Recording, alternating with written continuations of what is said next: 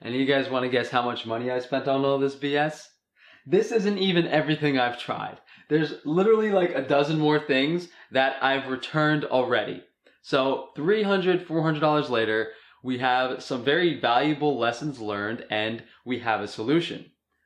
But for anyone who's unfamiliar, I started having health issues back in April of 2018 when I tried Aajonus Vonderplanitz' raw primal diet for several months. I stopped cooking my food, although I was consuming mostly raw anyway. I stopped salting my food, and I started getting cravings for carbs, honey, eggs, dairy. So, started having a tablespoon or two of honey per day. Uh, tried reintroducing eggs, seemed to go okay. And then I had dairy, and everything went downhill. People were saying, oh, it's just detox, bro. And I was having anaphylaxis attacks heart palpitations, insomnia, like crazy, crazy allergic reactions to this dairy. People were telling me it was detox, you just have to adjust to it. So, of course, I stopped consuming the dairy immediately, but when I consumed it, I literally did not sleep for a week. I said, okay, maybe it was the lactose in the milk. So I tried raw cream and raw butter. Same thing. Horrendous, horrendous allergic reaction. So over the next few months, I suffered from insomnia, heart palpitations, worst few months of my life by far. Uh, long story short, uh, I initially thought I had a parasite, uh, then I thought I had candida. Someone told me I had candida. Then we landed on gut dysbiosis, which is an imbalance of gut bacteria. And in the last few months, I've been kind of isolating it to copper toxicity. Now, until I get a hair mineral analysis, I don't want to say anything for certain, but the lesson learned here, guys, is you have to find out what the underlying issue is. You can kill all the candida in your stomach that you want, but it will come back if you don't fix the underlying issue. What fixed the underlying issue for me? Frankie's ball grease, aka vitamin D3. I started taking a lot of vitamin D3. I started exercising. I water fasted for five days. And then all I ate was meat and fat, lightly cooked with salt. That is what ultimately fixed my gut issues. But some of these things did contribute to it. And the main way was I lost a lot of weight. I was like emaciated. I was like 135 pounds. I couldn't exactly water fast to reset my appetite, and all the food I was eating was being consumed by the gut bacteria these antimicrobials helped me consume the food and gain some weight back so then I was then able to fast. But keep in mind guys, the ultimate solution was water fasting, resetting my digestive tract, giving it a break, taking vitamin D3, very important for healing the body, uh, precursor to cell differentiation, gene expression, exercising, uh, really being active. That helped me with my sleep, and ultimately my body was able to heal itself. But I don't want to go too much more into that story. The focus of this video is going to be all of the things I've tried, the purpose that they're supposed to have, and what I've learned on this six month journey in regards to all of these supplements. The most valuable resources for me were one, a friend I made along this journey that reached out to me and gave me some advice, and two, the notes from the Integrative SIBO SIFO conference from 2017. I will put that in the description down below a lot of these things are what I took from that conference. So there's a few general categories that a lot of this stuff can be lumped into. We have antibacterials and antimicrobials on the left. I have some digestive enzymes here. Uh, this is some vitamin C powder. That's completely separate. Charcoal powder, completely separate. Probiotics, separate. These are fatty acids. These are used to kill yeast cells. And then here I have some supplements on the side like boron and zinc that other people recommended. And the things that I did not mention here are NAC N-acetylcysteine as well as ALA alpha lipoic acid, bismuth or chelating agents to break down biofilms. Biofilms are mucus in the gut that contains bacteria and they're pretty much protected by that. So those things would be used to break down the biofilms. Uh, and also I had some MCT oil, which is pretty much concentrated coconut oil. Uh, there's also a garlic extract. I think it was called Allicin. All this stuff, guys, is going to be on my Amazon shop in the comments down below if you want to try any of this out. And there was also melatonin, but melatonin gave me... Guys, when I take melatonin, I see demons. So melatonin might help for your insomnia, but did not help for me. Of course, the vitamin D3 guys, the only supplement here that I recommend taking every day that works. But let's jump into all of this stuff. And before I jump into all of this stuff, as you can imagine, I was taking a crazy, crazy amount of pills. I was literally taking all of this at once at some point. It was absolutely absurd. I was thankfully I wasn't working at the time. Like I was working at the time, but I was able to fix my schedule so I could do this and be on the toilet half the day. As you can imagine, a lot of these antimicrobials, you can't just drink clove oil. It's going to be acrid and terrible. And an interesting thing about putting an antimicrobial thing in your mouth and how hard it is to break down this bacteria in your stomach is rinse your mouth out with mouthwash. See how the bacterial biofilm forms in your mouth. And that's in your mouth. Imagine getting this stuff into your stomach and having it release where the bacteria is. It's so diluted and the stomach fluid, it's very, very difficult and ineffective to really take a lot of antimicrobials. That being said, uh, let's get into it. So, the first thing I have to show you guys is the gelatin capsules because you can't take this stuff. You'll lose your mind. So gelatin capsules come like this. You take the top cap off, and this is great for anything. This isn't just for this. Uh, so these are pretty big too, five milliliters. You take the cap off, and then all of these have droppers. So let's say we want to put, we want to do an iodine capsule. We take our iodine dropper, and some droppers work better with these, some don't.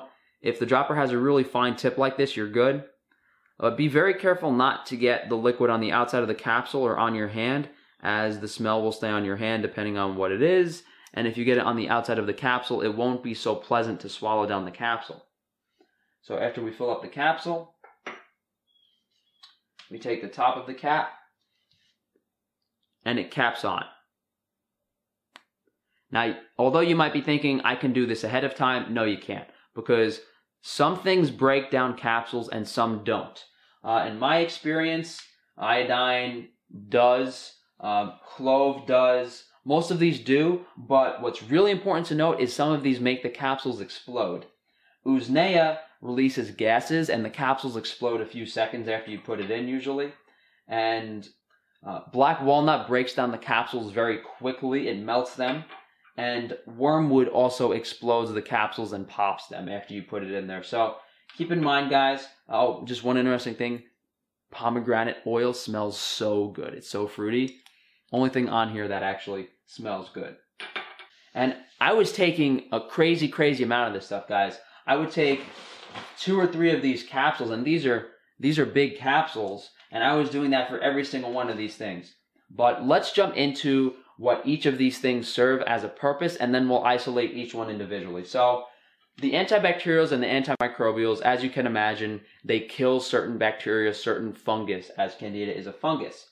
Now, what they also do is they promote growth of certain bacteria and they inhibit growth of certain bacteria. So one of these specifically, like berberine that we have right here, inhibits hydrogen producing bacteria. And then we have garlic that could inhibit methane producing bacteria. As I said, I don't have the garlic here, but different ones inhibit different bacterial growth and they also promote certain bacterial growth. But I would think that if you're taking every single one of these antibacterials or antimicrobials, nothing is really going to survive in your stomach.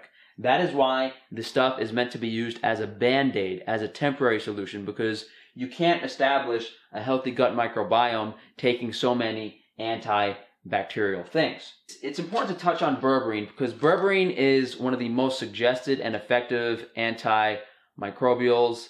This supplement also has Oregon grape and golden seal, other things that are recommended in the SIBO conference protocol. So this is definitely one of the most important things you should be taking if you do decide to do this. Uh, two to three grams per day, I think, was the recommendation. Uh, grapefruit seed extract is also something referred to commonly in its antimicrobial context. Um, if I had to say the most tried and true things and the most effective things here that I've deduced from my research, berberine complex is very high on the list. Grapefruit seed extract is very high on the list. Oil of oregano, oil of clove, iodine, pomegranate. I'm going to be honest, guys. The only reason this stuff is sitting here in front of me is because out of the hundreds of things I looked at and all of the research I did, these were deemed as the most effective. They were most consistently across every single recommendation for anything in regards to candida, SIBO, fungal issues, dysbiosis. All of these things are at the top of that list. So keep that in mind. None of these things I would have here if they weren't effective to some degree. Uh, the wormwood and the black walnut, although I've seen black walnut in anti-candida stuff, the only reason I have the wormwood is because I had it on hand because I was doing parasite stuff. So it's worth noting that the black walnut and the wormwood are typically used for parasite stuff, not candida stuff. So clove oil is particularly good for increasing gut motility, moving stuff through your stomach. And oil of oregano is great for biofilms, fighting biofilms. I remember reading a study on pomegranate and the type of acid found in pomegranate inhibits fungal growth in the stomach, but now, I don't want to go in depth into every single antibacterial, antimicrobial, because this is specific to people having this problem. So check out that conference, but I do want to emphasize that point that each one of these serves a different purpose. So if you have SIBO versus SIFO, you would take different versions and different combinations of things. In my mind, I was like, well, why not just take all of them? Probably not the best idea. Uh, these teas here, Pau d'Arco, Uva Ursi, are simply berberine containing teas. Uh, that analogy we made earlier about the mouthwash, I don't think these are effective. Just the concentration and the difficulty of getting something potent in your digestive system leads me to believe that the purpose of these is mainly to make sure that when you're having a meal, the bacteria isn't eating the food. It's that your body is digesting and absorbing the food. Uh, when I was really, really emaciated, 135 pounds, I wouldn't say emaciated, but when I was losing a lot of weight, when I was like 135 pounds, I couldn't fast. So taking these antimicrobials with the meal stopped the bacteria from eating the food and allowed my body to digest the food. Now, all these antibacterials, antimicrobials, they kill bacteria, they inhibit growth, they can break down biofilms to some degree. Uh, we also have iodine here. Potassium iodide does the same thing. I read a study, if you Google potassium iodide candida, it kills yeast cells within 30 seconds of contact, I believe. But, you know, what's the concentration? It's in vitro. I'm not really sure about the effectiveness of it in the digestive system, but it's certainly one of the most effective things I've seen from a mechanistic standpoint in a study. Uh, so the next thing to touch on is the fatty acids. And funny story is me drinking two cups of MCT oil, not like two eight ounce cups, two big 16 ounce cups of MCT oil, and I was on the toilet for two days. What I found out was that saturated fats, especially from coconut oil, can really damage the gut lining and cause more issues for people. So I would definitely stay away from coconut oil. I'm personally allergic to coconut oil, and I didn't realize this because when you remove the carbohydrate content of coconut and those other elements of coconut, the oil doesn't give me an allergic reaction in my mouth, whereas the cream does. So be careful, guys, of underlying coconut allergies when consuming refined oils or MCT oil. I definitely wouldn't use this, but the reason this is used as an antibacterial or an antimicrobial is because it has caprylic acid and lauric acid. Here we have a concentrated version of the caprylic acid that's found in coconut, and I also have another acid, undecylenic acid. What these do is they literally just kill the candida. So if you get these acids in the presence of actual stomach acid in your stomach, they will kill the candida. But this is important to note. If caprylic acid and undecylenic acid, if the fatty acids are not in the presence of an acidic environment in the stomach, that means that they are not going to be effective. And I know it's it's caprylic acid. That just means it's a fat. It's not necessarily acidic itself. So you have to take betaine HCl or ensure that the stomach acid level is very high when you're taking these. Otherwise, they will be ineffective. And I never noticed anything from taking these two specifically, so I can't really recommend them in any way whatsoever. Uh, the charcoal powder, same thing. I never really noticed a difference. Uh, the zinc, I purchased that because I thought it was a copper problem, but I'll touch on that in a separate video. I don't think it's safe for me to really make any assumptions without knowing other things for sure. We got the Boron Bros. Uh, there's definitely some benefits to boron, and I did notice some mental clarity actually when I took the boron. Although I did stop taking it, I don't think, and I don't like taking supplements outside of vitamin D3 in my diet. I like to do things naturally as our ancestors would have, with the exception of vitamin D3 supplements. Uh, and then we have a probiotic prescript assist. What I will say about probiotics is they can make SIBO or SIFO much worse. I took this and it made things way worse. So probiotic recommendations, I can't really say. The one thing that did work for me was vitamin C flushes. Vitamin C helps flush out histamines. It also binds to copper in the bloodstream. So vitamin C, excellent, excellent thing. One of the best things and the only thing that I can definitely recommend for people. To do a vitamin C flush, you take like 15, 20, 25 grams of vitamin C. It flushes your system. Be close to a toilet. And then we have the digestive enzymes. And the reason I'm touching on the vitamin C and the digestive enzymes last is because they were the most effective and the only things in hindsight that I would turn back to. Now, I don't really want to discredit these antimicrobials because the antimicrobials helped me gain my weight back. So without these, I can't say for certain if I would be better as I am now.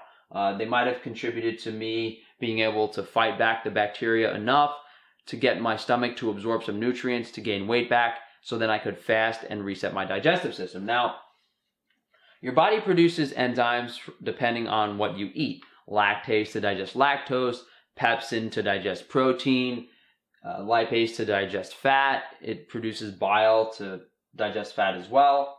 And by consuming these digestive enzymes, as well as betaine HCl, which is stomach acid, we can allow our small intestine to absorb the nutrients easier. This is very, very important because people with SIBO, SIFO, as well as other gut issues tend to have low stomach acid. So what we do is we increase the stomach acid, it breaks down the food, the food absorbs in the stomach, and then we can effectively get nutrients. Now, this doesn't work for a lot of people, and it's not actually necessary for a lot of people. Uh, it's important that you use uh, betaine with bitters. If you don't have bitters, it's not going to activate. I mean, you could literally take 5, 10, 15 betaine pills, but if you put bitters in the pills, the bitter stimulates the digestive system to produce acid.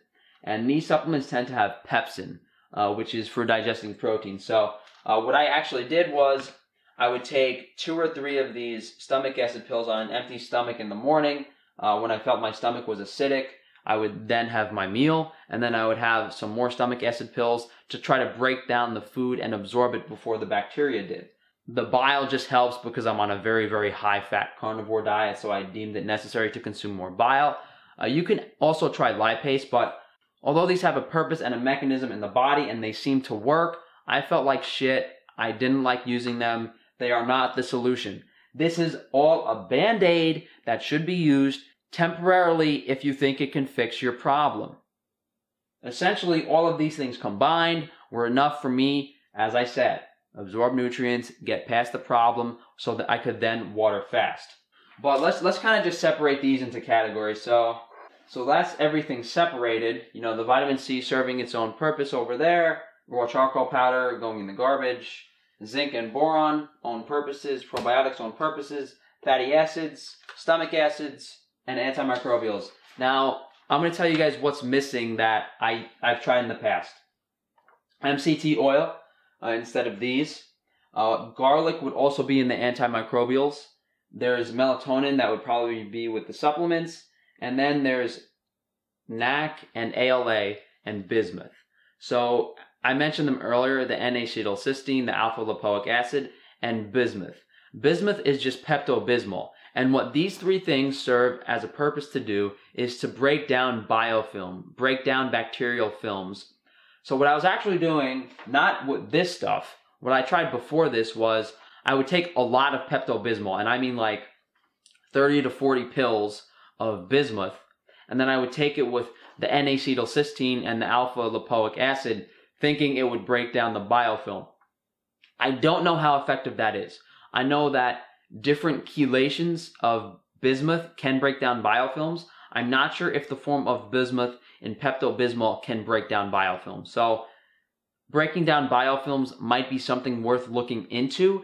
I don't think it's necessary, but it's definitely worth mentioning. There are substances that you can buy over the counter, such as N-acetylcysteine, alpha lipoic acid, and Pepto-Bismol that are associated with breaking down the biofilm. So my theory was I'll take the biofilm stuff at night. So when I go to bed, the biofilm breaks down. I wake up, I hammer it with antimicrobials, I hammer it with fatty acids, and then when I have my meal, I take the stomach acids, digest the food really quickly. So in my mind, it kind of made sense.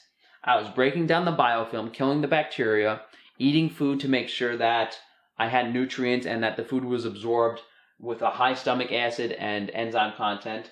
And then I thought, okay, well, maybe boron deficiency, zinc deficiency, vitamin C flush. In my mind, all of this stuff made sense. So to take you guys through the routine that made sense in my mind at the time was I would wake up, I would have the stomach acid pills with the fatty acids, thinking that the acidity would bring this to the candida, whatever, and kill it because this has to be in an acidic environment. After I did that, I would take the antimicrobials, ensure that I have enough antimicrobials in the system so that when I have my meal later, there's no bacterial growth. Then I would have my meal with more enzymes and more acid. Then I would do another antimicrobial. Did I do another antimicrobial flush? Yeah, then I would do an, another antimicrobial flush after my meal. Absolutely crazy. And then I would do a vitamin C flush to get it all out of my system. And then at night, I would do the alpha lipoic acid, the bismuth, the N-acetylcysteine. I was taking probably over 100 pills a day, ruining my liver, completely crazy. I figured this stuff was easier on my liver than taking all the Tylenol and the Advil and stuff that I was taking for the pain of headaches and stuff from not sleeping over the insomnia. So, okay, so if I could go back in time and only do one thing that I thought would have worked, here's what I would have done. I would have taken the stomach acid in the morning, and when I felt my stomach was acidic, I would have eaten some food. After I ate some food, I would have taken some more stomach acid pills, and then I would have done a vitamin C flush. Maybe, maybe, maybe I would have incorporated a small amount of berberine, but you guys have to understand all of this stuff is so inflammatory to the gut microbiome. It is so inflammatory that you cannot use this for longer than a period of days to a week or two. You can't. And even then, it should be in a much lower dosage than I use. I probably used probably like five, ten times more than I should have. So keep that in mind, guys. And as always, take everything with a grain of salt, preferably not Himalayan salt. Uh, that's what I've learned about all this stuff, guys. Hopefully, this helps someone out. Uh, I hope it does. Uh, check definitely check out the 2017 Integrative SIBO conference. I'll post that in the comments down below. So thank you guys for watching. If you guys would like to support the channel, please like, subscribe, and share the video. All of this stuff will be in my Amazon shop.